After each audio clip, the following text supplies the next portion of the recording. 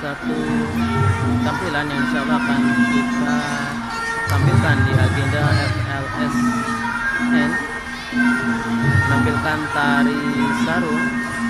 Mohon doanya semoga nanti di FLSN bisa meraih prestasi terbaik untuk SK Islam Daun Harapan. Selain tari ada juga tampilan pantomim dan